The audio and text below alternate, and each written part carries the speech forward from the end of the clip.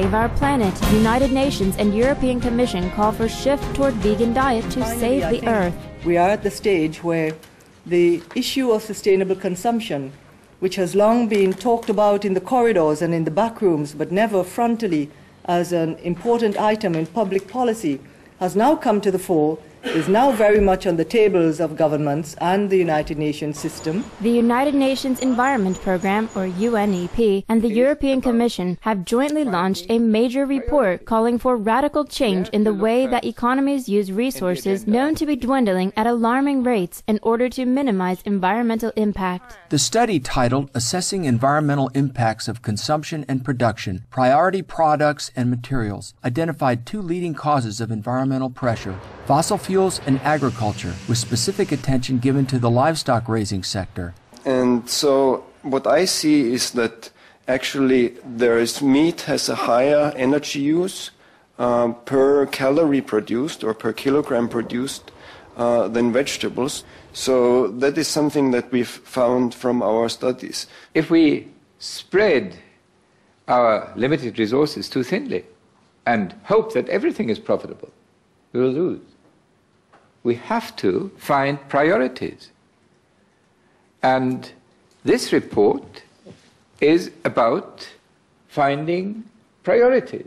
Authored by researchers from the UNEP hosted International Panel for Sustainable Resource Management, the report states agriculture and food consumption are identified as one of the most important drivers of environmental pressures, especially habitat change, climate change, water use, and toxic emissions. If we seriously want to talk about the questions of biodiversity, of the water quality, nitrates pollution, of the CO2 emissions, if we seriously want to talk about that, we have to ask for the help of farmers also. The report further explains that with a growing global population and developing economies, the impacts of climate change and environmental degradation will be even more dangerous unless patterns of production and consumption, especially starting at home, become more sustainable.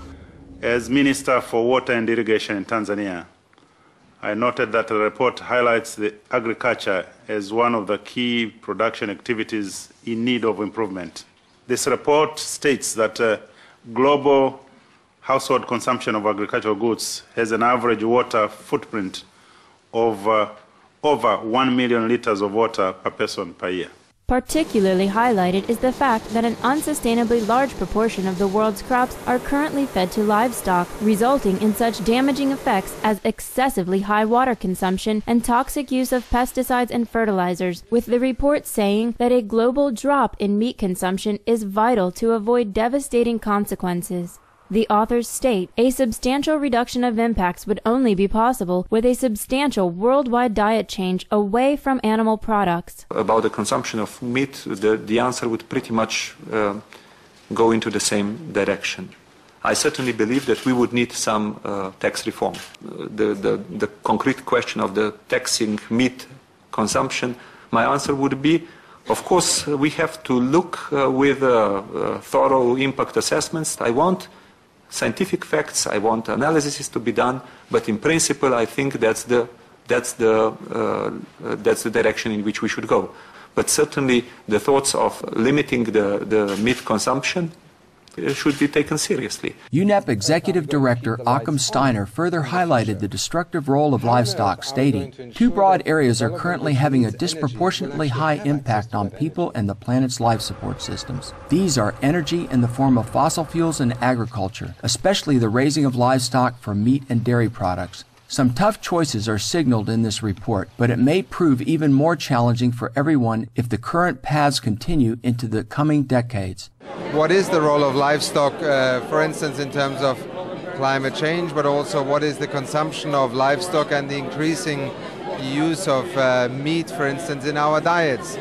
Um, our role is to inform people and to also give them the opportunity to perhaps change their lifestyles by having better information. The report, which will be presented to world governments, urges policymakers to adopt strict but creative measures to avoid these adverse consequences. This is a time now for reports such as this to help the analysis and the decision making of governments and entities everywhere. Our appreciation, Executive Director Steiner, United Nations Environment Program, European Commission, and International Panel for Sustainable Resource Management scientists for your leadership in stating the need to prioritize a widespread shift to a diet free of animal products. May wise governments and individuals worldwide quickly heed this call to ensure the survival of lives on Earth.